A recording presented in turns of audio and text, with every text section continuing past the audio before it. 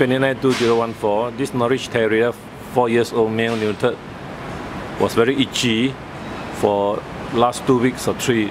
The owner came uh, asking for steroid injection.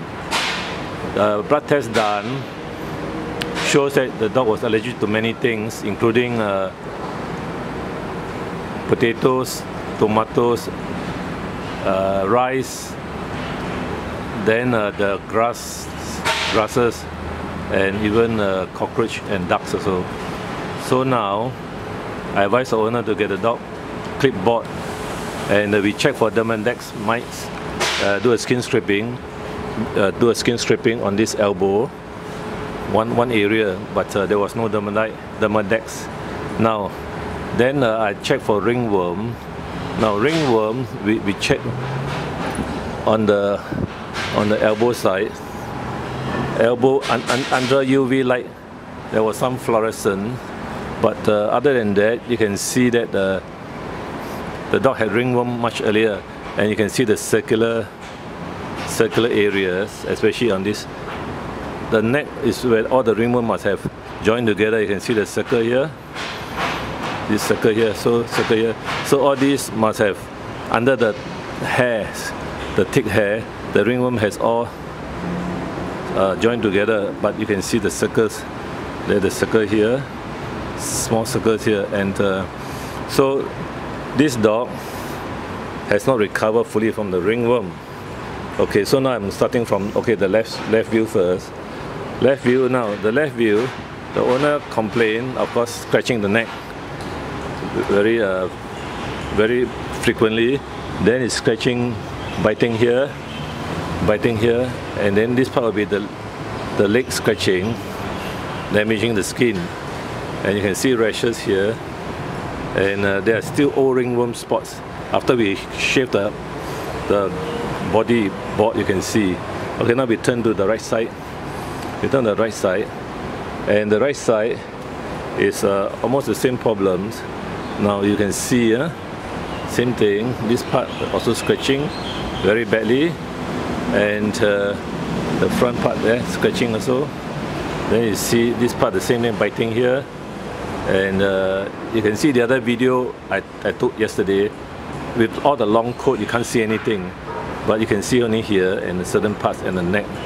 So after shaving board, you can see there's a lot of dandruff as well. Okay, now the other complaint is uh, the neck. Now the neck has been going for a long time, neck and face, very long, and uh, the owner owner didn't really uh, come back for review. Uh. So and then he been biting the elbows. The elbows all black, and the paws, all the four paws, are also biting. Now paws could be due to allergies. Okay, now we show the belly, the, the stomach area. You can see. Now this part is really very bad at the front. Although the dog has been wearing an e-collar, and uh, the little collar didn't help. Yeah, Here, is very bad. This is inflammation. Then uh, you can see below. Now this, this is not a Westie, but uh, the disease uh, similar to what the Westie has. Normally they think that it's due to the yeast, yeast cells infected. Okay, now you see the backside. Now you see the backside, pull up the tail. Eh? So there's no inner sac inflammation or infection, but you can see there are rashes here. These are probably bacteria, bacterial pustules of, or starting of fungus or yeast.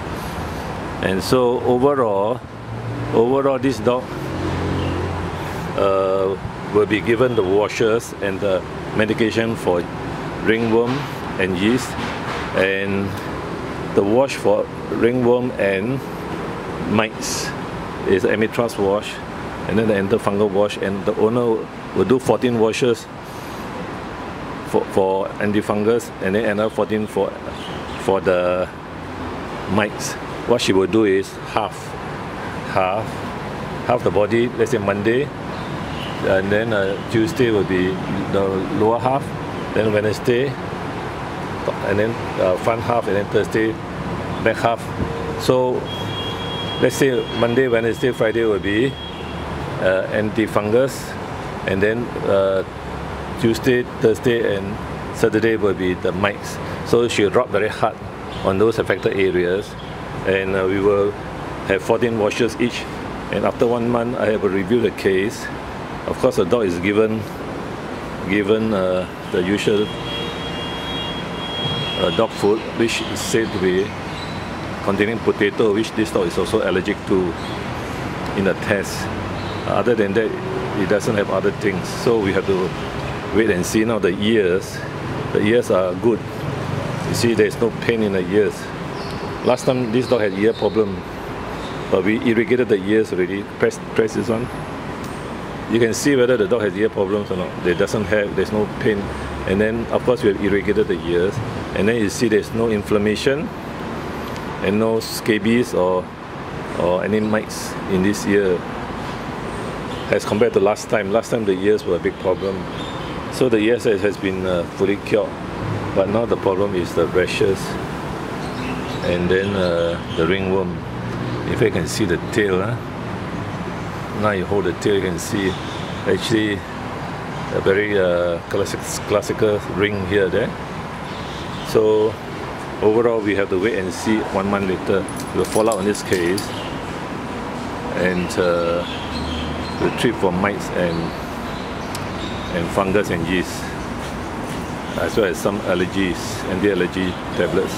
May 29, 2014, the Norwich Terrier, male neutered 4 years old, very itchy.